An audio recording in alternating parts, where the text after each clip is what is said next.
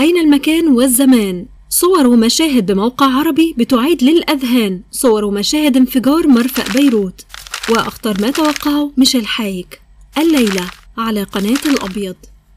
أهلا بحضراتكم معانا في قناة الأبيض وحلقة جديدة من حلقات التوقعات. ومعانا كالعادة توقعات نوستراداموس العرب ميشيل حايك والأخطر من التوقعات العربية والعالمية. بفكرك سريعا تعمل لايك للفيديو عشان يوصل لكل متابعي التوقعات في العالم. أما لو أنت جديد معانا فياريت تشرفنا دلوقتي بالاشتراك في القناة وما تنساش تفعل الجرس علشان توصلك كل فيديوهاتنا أول بأول. ميشال حايك بيتوقع إن سيناريو بن علي في تونس هيرجع للذاكرة من جديد. تهريب الكبتاجون هذه المرة مش الكمية هي الفضيحة فضيحة الاسم والشهرة ومن سيكون. أيمن الظواهري ولو متوفي راح يشغل جهات أمنية وانسحابات من أوبك بتهز أوبك وبتهز العالم. احتراف رياضي عربي سوف يضاهي البلدان الرائدة بعالم الرياضة. الكشف عن خطة لإعلان الأردن مملكة للسلام. إسرائيل بتخطط لعمل عسكري لرفع معنويات جيشها. نهاية غير سعيدة في أحد ميادين الخيل. ميركل حديث الألمان والأوروبيين واهتزازات متلاحقة للمجلس الانتقالي وبرهان. وزير خارجية تركيا على مفترق سياسي وأمني خطير. الرئيس بوتين وبعض المقربين منه بيتعرضوا لسلسلة من الصدمات. فجأة هتسيطر الصدمة على إحدى حلبات الفورمولا 1 في الخليج العربي. أسبوع الموضة هالمرة بنسخة عربية وعلى أرض عربية خليجية. احتراف رياضي عربي يضاهي البلدان الرائدة في عالم الرياضة. رؤوس كبيرة ووجوه معروفة وأسماء مشهورة نساء ورجال حتطالهم عملية محاسبة الفساد. إصرار ملك المغرب على المصالحة حيكون أقوى من إصرار الجزائر على الخصومة. غسان بن جدو بين الحسد والشهرة. زيارات علنية من التيار إلى سوريا لكنها ذات أسرار. النائب جبران باسيل يخالف بالتوقعات التحالفات والنتائج والخطر من اغتياله يزداد. سليمان فرنجية يلتقي السيد حسن نصر الله عين بعين. المناعة ضعيفة بين نجيب الميقاتي والثنائي الشيعي رغم الجرعة الثالثة.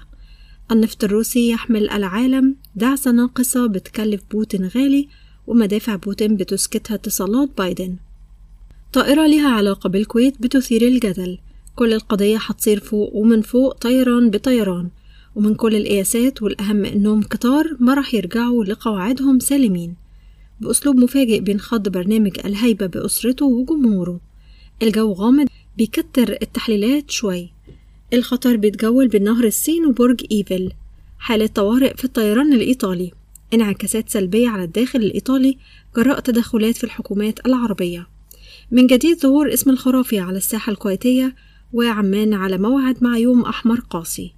اهتزازين أحدهما أمني والآخر طبيعي وعين ترصدها لترفعها في البحرين. ما يشبه لقاء قمة وأقطاب في الحرم المكي. النفط الروسي رح يشمل العالم. الحكومة الإيطالية بمهب الهزات المتلاحقة وصمودها على المحك. عملية بتتراوح بين الخطف والتغييب من الدرجة الأولى والمخطوف شخصية محورية بالمسار الليبي. سقوط شخصية إيطالية من صف الرؤساء. الأحداث الضخمة والأهداف الأضخم بتتداخل وبتتشابك لتعمل من روما عاصمة بتحبس الأنفاس وموجة حزن بتقفش على شط مغربي بعد صوت نتنياهو اللي عم بيدج براسي وصد تهديده للبنان مش عم بيفارق دناية فرقة حملة النعوش الأفريقية بعدتها وعتدها بالمنطقة تبعنا. مقهى فرنسي بيتحول لمعركة. أدوار بارزة بصنع القرار بلبنان الجديد وكما في لبنان أيضا في سوريا. هزة طبيعية ومش طبيعية بتضرب منطقة الجبل ومش كلها دايمة على حدود اللبنانية السورية. هالمرة من أحد المعابر حيعبر حل ومش حيلا حل؟ مروحة أحداث وشقلبة كبيرة بانتظار حزب تشانج وأركانه. راح ينطلب أكتر من راس أرمني كبير. شخصية أرمنية بترفع اسم لبنان وبتعزز ليه رصيده وبتجعله مفخرة بلبنان بدنيا الانتشار. هتشكل الانتخابات الإيطالية نقطة تحول ومحور المعركة هذه المرة لحماس والجهاد الإسلامي. بيفتح محمود عباس صدمات من بينها صدمة بتخص اسم ياسر عرفات. الأميرة هيا الحسين في صورة تقلب المقاييس. الشيخ محمد بن زايد بيغمر وبيقلب منقولة النار بإيديه لوصل المقطوع. استنفارات مفاجئة في الإمارات بتنقلب وبتنقلب السلطة الفلسطينية رأسا على عقب. ثورة في فلسطين عنوانها حماس وغير حماس. الفن الفلسطيني يربح معارك غير عسكرية. بداية تسلل خلية إرهابية. بيفقد ملك المغرب شخص عزيز أو قريب أو صديق.